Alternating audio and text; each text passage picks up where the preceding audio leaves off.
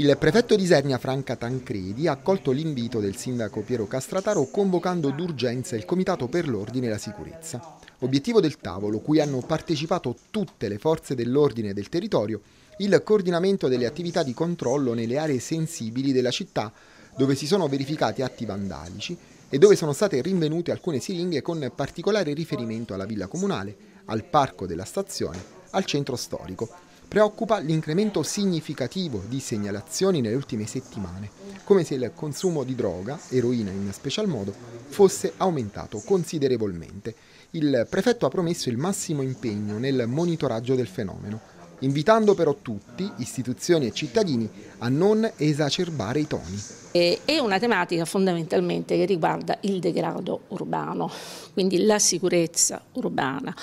ma questo non esclude il fatto che comunque sul piano del contrasto e poi della prevenzione le forze dell'ordine già non si siano mosse,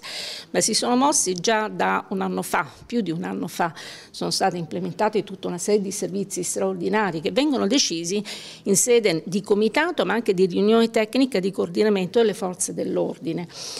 implementati ulteriormente a partire dalla scorsa primavera proprio nel territorio del comune di Isernia, di Venafro e verranno ulteriormente implementati anche in altri comuni, ovviamente non diciamo, io non dico in quali altri comuni,